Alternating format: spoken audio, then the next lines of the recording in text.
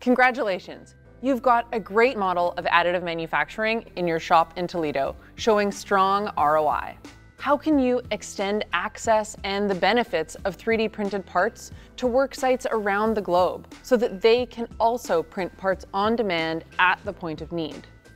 Today, we're going to explore how businesses are using Markforged software to run more efficiently and distribute manufacturing in a much smarter way. Welcome to the Software Update.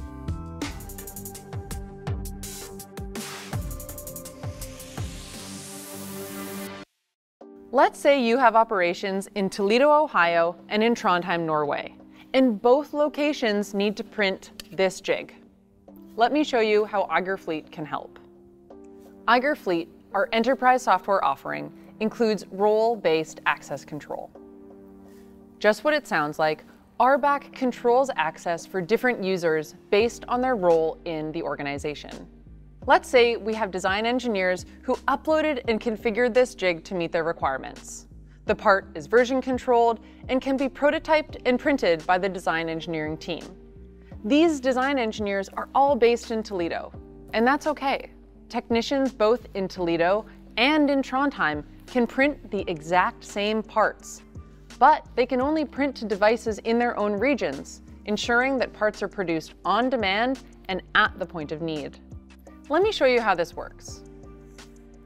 So here we are in Eiger, our design and slicing software. Here's the part in question that needs to be printed in Trondheim. We can see the part, how it's oriented on the print bed. We have the dimensions, the print time, and how much it will cost based on the materials involved. In the internal view, we can see exactly where the supports are located so that we can easily remove them. Going back to the part view, we can get ready to print the part.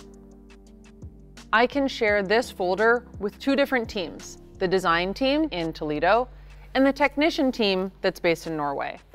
The designers can edit and build those parts. They're designing, they're changing things.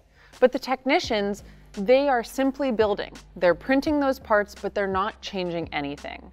This is achieved with role-based access control, which is part of Eiger Fleet.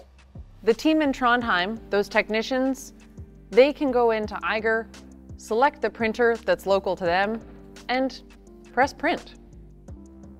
Eiger Fleet also includes access to Markforged University to help get the folks at any site up to speed on additive technologies, and to help develop additive expertise across your organization. Eiger Fleet contains many features that allow for advanced team and device management, and role-based access control is just one of them. It allows the right users to see only the right parts and to print to the right printers.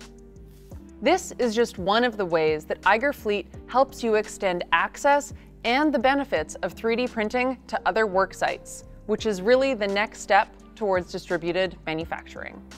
Are you interested in spreading the benefits of 3D printing at your organization? Comment below on the challenges you're facing or what's worked for you. And don't forget to like and subscribe for more great content from Markforged.